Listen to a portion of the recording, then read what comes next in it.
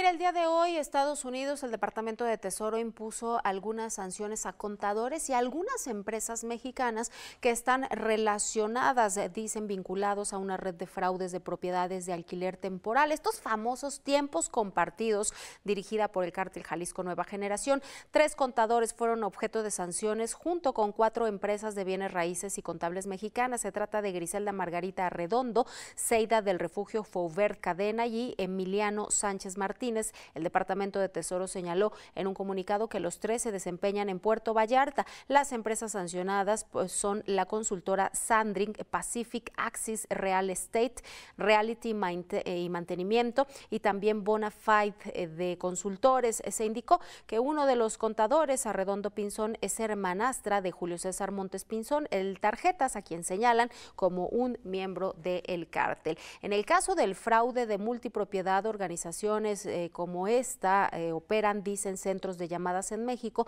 con estafadores que simulan ser agentes inmobiliarios, abogados o representantes de ventas de Estados Unidos para estafar a propietarios estadounidenses que quieren alquilar o comprar un alojamiento vacacional en México. Según el FBI, entre 2019 y 2023, unos 6 mil estadounidenses fueron estafados con fraudes en México de estos tiempos compartidos.